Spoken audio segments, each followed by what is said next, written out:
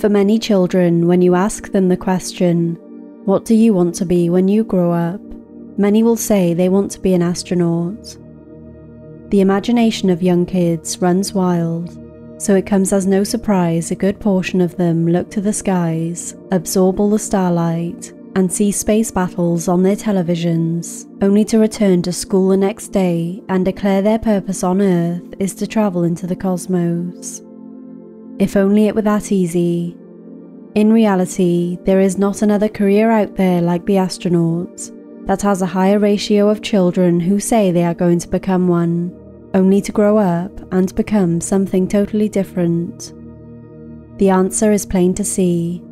Not only is becoming an astronaut reliant on incredibly high intelligence, decades long dedication to schooling, research, studies, and absolute perfection in engineering, it also requires absolutely rigorous sacrifices most people aren't suited or willing to make. The rewarding yet physically detrimental toll it takes on the human body is one, if not the most critical, of those sacrifices. Between a total rewiring of a person's sensory systems to the decades long loss of bone health after only mere months spent in space, it's no wonder only a few are both mentally and physically prepared to venture into the depths of the final frontier. To grasp a better understanding of what an astronaut truly experiences beyond Earth, let's take a closer look at the truly horrifying yet breathtaking effects space travel has on the human species' five senses.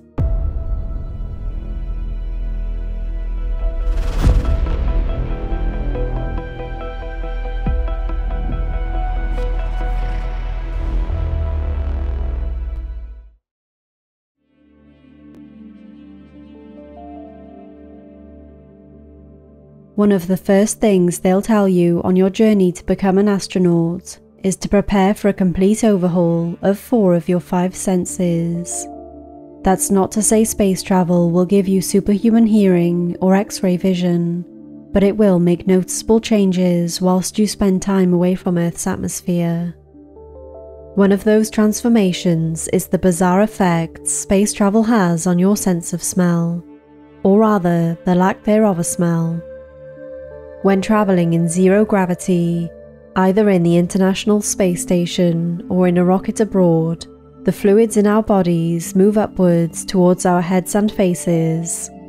Thus, the sinuses technically never go dry, and the sense of smell is increasingly dulled.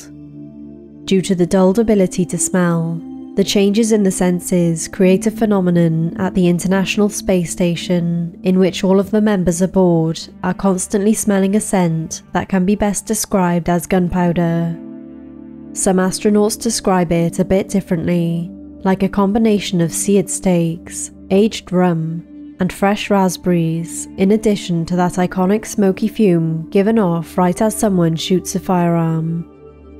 It should be stated that the smell of burnt steak and a smoking gun aren't actually present in the space station itself. These smells are impossible, purely because space doesn't contain the compounds or molecules necessary to trigger the sense in human beings. To understand the phenomenon, one must dig deeper into the details provided by the astronauts. Many of them clarify that the gunpowder smell only occurs when they enter the spaceship after being on the outside. With the inclusion of this data point, the smoke smell makes sense. Whilst outside of the space station, any and all substances lingering on the astronaut's spacesuit would burn up because of the intense radiation found in space. Specifically, any aldehyde organic compounds or aromatic chemicals would be burned off upon ship re entry and provide the only type of opportunity an astronaut would be able to smell, if their sinuses would allow them. There's also the possibility these unique yet distinct smells are examples of astronauts dealing with unpleasant phantosmia, also known as cacosmia or phantom odour Phantosmia is the sensory hallucination in which a person smells an odour that is not truly there, usually a scent resembling smoke, burning, and spoiled or rotten food. The cause behind phantosmia is both heavily researched and yet not agreed upon. Some argue it's due to infections of the nose, others claim it's due to dental issues. There are theories that it's a side effect of migraines, strokes, seizures, and other brain injuries. For astronauts, it's most likely a change in mental disorders, the exposure to extreme environmental elements, and the inhalation of special chemicals. So while the experience of losing your sense of smell or smelling things that don't exist isn't necessarily scary, it certainly is surreal and could lead to a very troubling quality of life in general if it bothers the astronaut enough.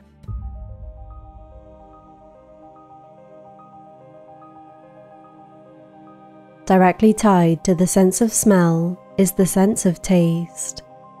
You've probably noticed, either by personal experience or personal research, that when your ability to smell falters, so does your ability to taste.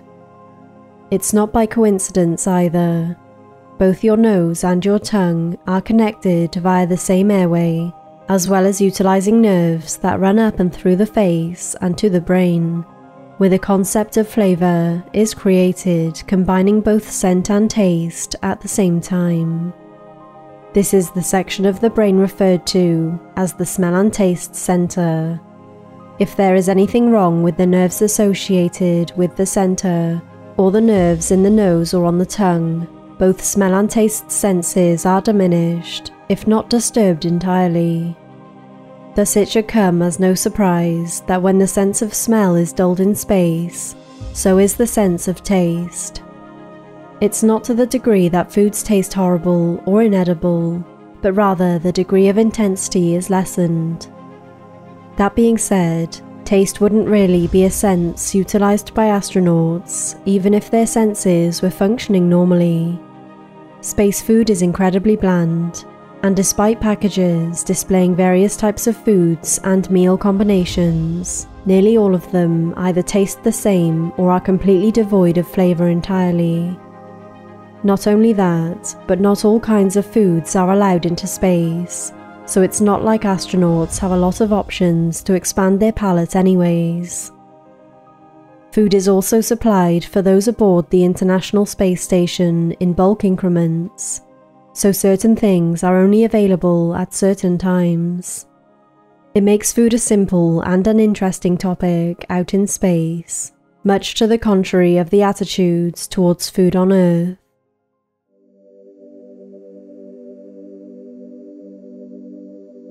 One of the most commonly discussed topics regarding space and the human endeavour to explore the cosmos is the fact that sound does not exist in most places in the universe.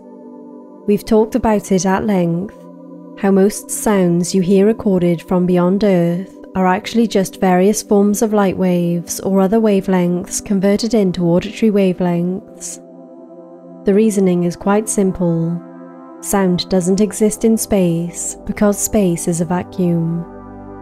No matter how deep you venture into the cosmos, there simply isn't a medium that can transmit audio waves. More specifically, these mediums on Earth would constitute water or air. Because space is mostly the literal definition of nothing, without even air to fill its gaps, Atoms and molecules can't vibrate and deliver the auditory waves we're accustomed to on Earth. So while there wouldn't be an issue with loud noises that disturb mental well-being or communication, hearing is still a surreal experience in space. Due to the lack of outside noise or sound, the only things astronauts will hear in space is the mechanical whirring of the spacecraft's interior, as well as the voices of the fellow astronauts and mission control. Because the astronauts are constantly hearing these similar daily patterns, the sounds themselves become familiar. When the sounds familiarize, they no longer stimulate the ear or brain the way normal mechanical noises or specific voices would. This is not to say hearing gets worse in space. Rather, think about how you would think about background noises on Earth. If you work in a hot climate where you'll run the central air conditioning on a regular basis, your brain has probably learned to tune out the hum of a HVAC unit. In a more relatable scenario, if you work in an environment near a construction site where loud drills and heavy equipment are constantly turning on and off, after a while you will become familiar with those intense sounds Instead, the sounds will shift to your auditory background, just like the few noises heard by astronauts when traveling through the cosmos.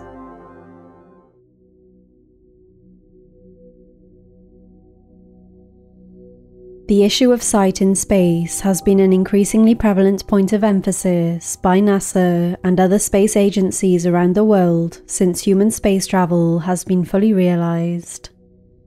One might find it confusing how our ability to see or use our eyes in general whilst travelling the universe might be negatively impacted. Rest assured, when microgravity and high levels of radiation are at play, anything is possible with the human body. In terms of our sense of sight, the nature of weightlessness in space is the first thing to affect our eyes. It all has to deal with the liquids in our bodies and how the equilibrium they reach is not the same equilibrium sometimes attained on Earth. Rather, the liquid in equilibrium whilst space travelling creates a slight pressure in the human head, causing the face to swell and that swelling to push up and around the eye sockets. When the eye sockets swell, the astronaut's vision then becomes temporarily impaired. This is not to say space travel causes total blindness or the inability to see colour, but it does challenge both near and far-sighted abilities. There's an effect on sight similar to the effect space travel has on hearing as well. Like the constant noises of the spaceship and the voices of fellow crew members become familiar beyond distraction, the constant visual of the black and infinite universe as a landscape also becomes familiar beyond distraction. This is just a fancier way of saying the more of the same that exists on the landscape, the less stimulation the human eyes will experience. For example, someone who has spent a year in space is less likely to fixate on a visual or image that someone existing normally on Earth will fixate on like a small flashing light. The most disruptive aspect of space travel's impact on sight is the complete antithesis to the lack of visual stimulations. No matter how familiar an astronaut is with their unchanging landscape, one thing that will capture their attention is the occasional cosmic ray, high energy subatomic particles that travel through space at the speed of light, born from our Sun and other stars across the universe. While the cosmic rays don't cause any sort of permanent damage, astronauts have reported seeing flashes sparked by the phenomenon. There isn't anything we can do about cosmic rays, which are inevitable yet regular features of the cosmos. That being said, researchers have been working for years on a viable strategy to help fight the swelling astronauts deal within space and obtain the sharp vision they so desperately need to perform to the best of their abilities.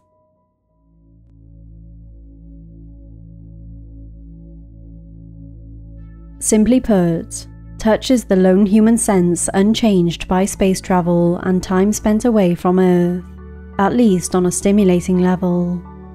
Touch is controlled by nerve endings in your fingers and the skin in general, rather than relying on the liquids in your body and the equilibrium throwing everything off that way. Without any cosmic source altering the function of nerve endings in the human body, touch theoretically works the same on Pluto as it does on Earth.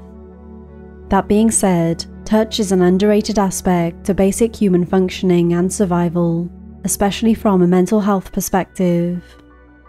Due to the absence of gravity and the protective garments often worn by astronauts aboard a spacecraft, as well as the busy nature of operating one in general, human touch is virtually non existent, let alone skin to skin contact. Thus, in a way, space travel does impact touch, in that it makes it incredibly difficult for humans to embrace one another and re engage with healthy mental well being practices. Not everyone needs touch to survive, but for those that do, the anguish of sacrifice is sure to make one question the sanity levels needed to ascend from Earth and test the waters of space travel.